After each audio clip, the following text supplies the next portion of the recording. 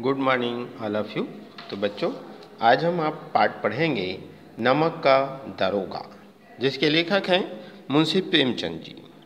मुंशी प्रेमचंद जी का यह बहुचर्चित कहानी है। इस कहानी में यथार्थवाद के साथ साथ आदर्श को भी चित्रित किया गया है। इस कहानी में धन के ऊपर धर्म की जीत को दर्शाया गया है। यह मानव मूल्यों की आस्था जगाने वाली आशावादी कहानी है। इसमें धर्म, परायणता, कर्तव्य निष्ठता, सत्यनिष्ठा को सम्मानित किया गया है और पूरे विश्व में इसे दुर्लभ गुणों के रूप में व्याख्या किया गया है। यह कहानी जो है प्रारंभ होता है जब से नमक बनाने पर रोक लगा, सरकार के द्वारा रोक लगाया गया। तब से एक नया विभाग, नमक विभाग बनाया गया।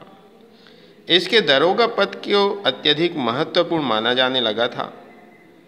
और तो और, इस पद के लिए वकील भी जो है, ललायत रहा करते थे, इस पद को पाने के लिए ललचाया करते थे। मुंशीधर भी रोज़गार ढूँढने के लिए निकलते थे और उनके पिता जो हैं, उन्हें हमेशा हिदायत दिया करते थे कि बेटा नौकरी ऐसे ढूंढना जिसमें ऊपर की आय खूब हो।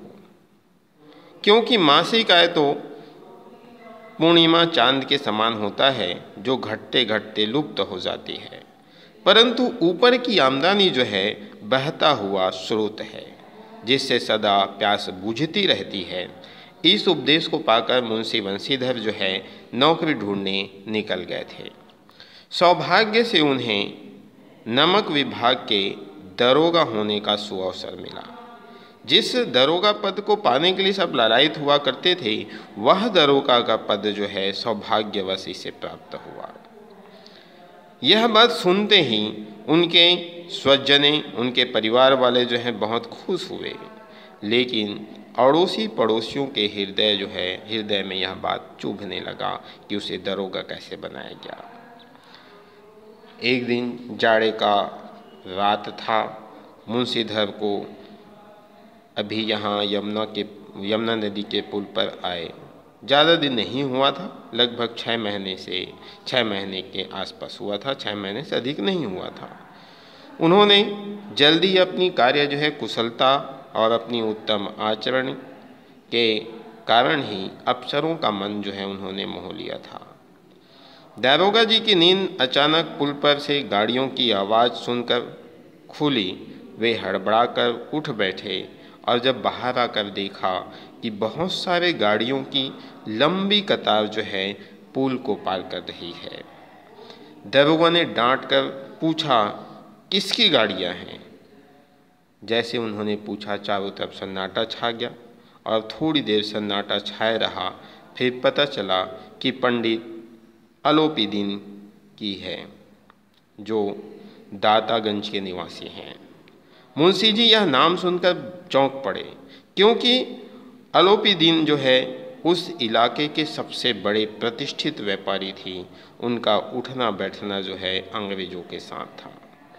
उन्होंने पता लगाया कि उन गाड़ियों में नमक ले जाया जा रहा है।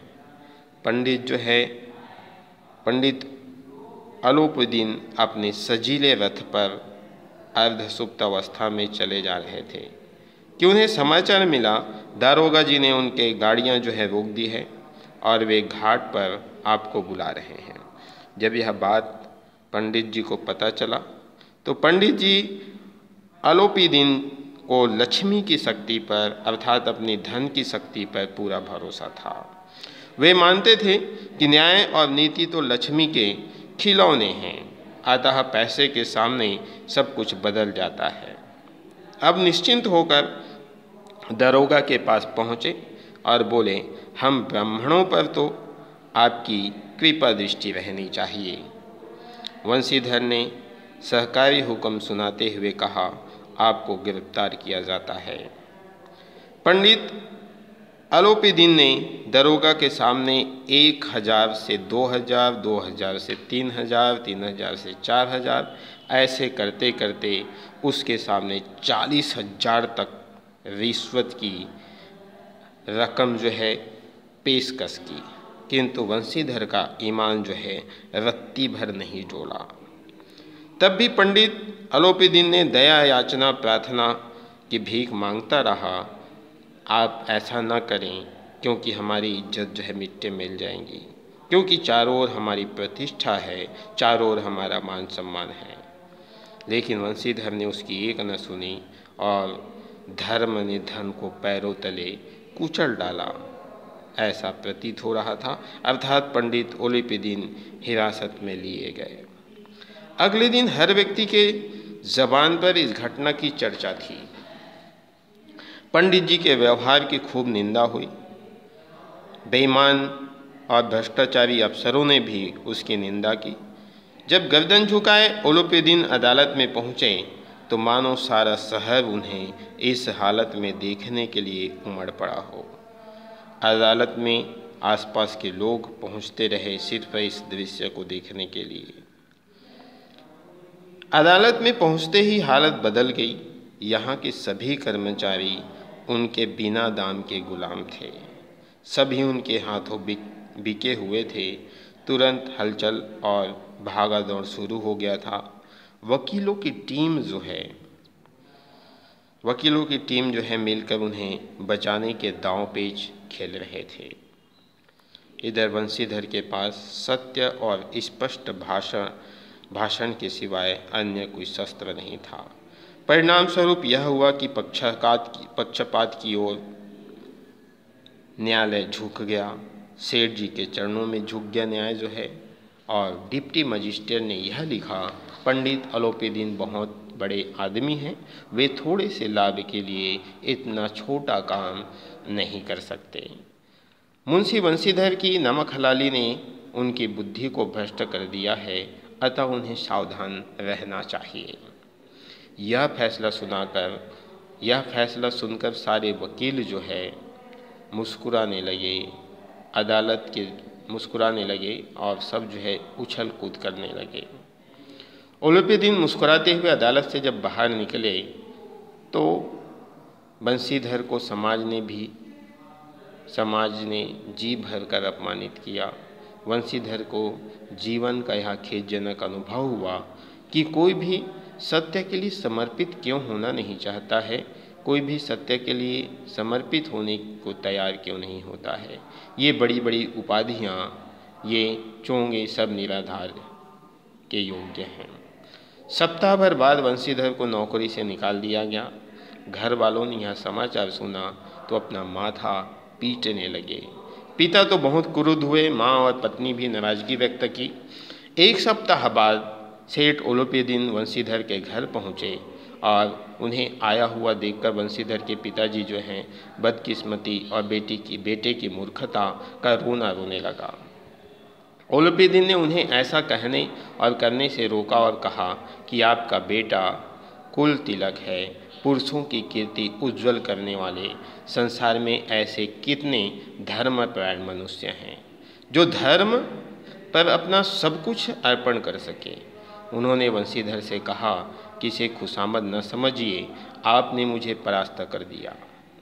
वंशीधर ने सोचा कि वे उसे अपमानित करने आए हैं, परंतु पंडित की बातें सुनकर उनका संदेह जो है दूर हो गया, और संदेह दूर होते ही आप, उन्होंने यह भी कहा कि यह आपकी उदारता है, आज्ञा दीजिए।